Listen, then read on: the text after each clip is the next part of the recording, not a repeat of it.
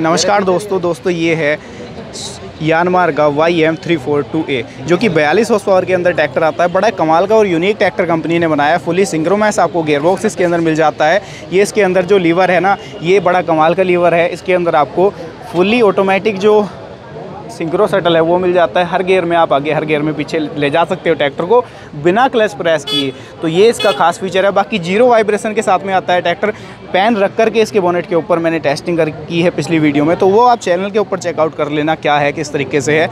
बाकी ट्रैक्टर का जो लुक है, वो आपको नो डाउट काफ़ी ज़्यादा शानदार मिल जाता है। प्रोजेक्टर हेडलाइट के साथ में आता है। यहाँ पर आप अगर देखेंगे तो फ्रंट में जाली इस तरीके से डिज़ाइन की गई है, ताकि जो इसका कूलिंग मैकेनिज़्म है, वो प्रॉपर तरीके से वर्क करे। और जो फ्रंट एक्सल है इसका वो आप अगर देख पाएँगे तो पूरी तरीके से सील्ड फ्रंट एक्सल दिया गया है। पडलिंग स्पेशल कंपनी ने ट्रैक्टर ये बनाया, जिससे कि गारा या कीचड़ वगैरह इसके अंदर ना जाए।